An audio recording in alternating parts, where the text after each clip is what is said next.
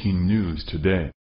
Please subscribe and then check notification box to get all breaking news alerts. Kentucky Senator Rand Paul called for an investigation on Thursday into what he says was collusion within the Obama administration to prevent the election of Donald Trump. This could be worse than Watergate. Senator Paul, a Republican, wrote on Twitter. Time to investigate high-ranking Obama government officials who might have colluded to prevent the election of that real Donald Trump. It is unclear what exactly prompted the tweet from Paul, who hasn't commented much on the investigations into possible Trump campaign collusion with the Russian government. But, an increasing number of Republicans have started speaking out to criticize the various probes, including the one being conducted by special counsel Robert Mueller. FBI official Peter Strzok, who supervised the Russia investigation when it was opened in July 2016, had exchanged anti-Trump and pro-Hillary Clinton text messages. Strzok also helped lead the investigation into Clinton's use of a private email server.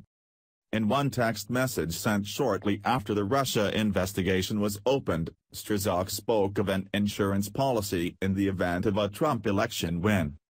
I want to believe the path you threw out for consideration in Andy's office, that there's no way, Trump, gets elected, but I'm afraid we can't take that risk, Strzok wrote to Lisa Page, an FBI lawyer and his mistress. It's like an insurance policy in the unlikely event you die before you're 40, the messages also said. Strzok was removed from Mueller's investigation in July after the Justice Department's Inspector General discovered the texts. The Andy mentioned in Strzok's text is believed to be Deputy FBI Director Andrew McCabe. McCabe was interviewed by the House Intelligence Committee on Tuesday. He faces the House Judiciary Committee on Thursday.